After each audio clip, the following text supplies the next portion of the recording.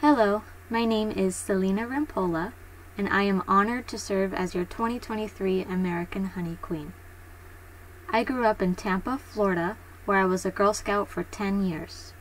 I attended Hillsborough Community College, where I studied psychology and helped promote student organizations, including our chapter of Psi Beta National Honor Society in Psychology.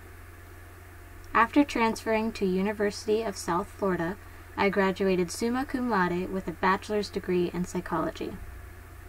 Shortly after graduating, I attended a local beekeeping class out of curiosity, and I decided I wanted to learn more about honeybees, so I offered to help the host of the class with her 100 hives.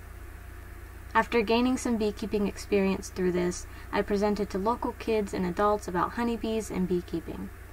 Shortly after, I discovered the American Honey Queen program through the American Beekeeping Federation.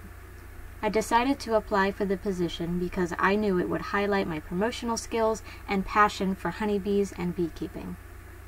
Throughout this year, I aim to present to at least 20 Girl Scout troops and complete 20 media presentations. I am very excited to represent the beekeeping and honey industry this year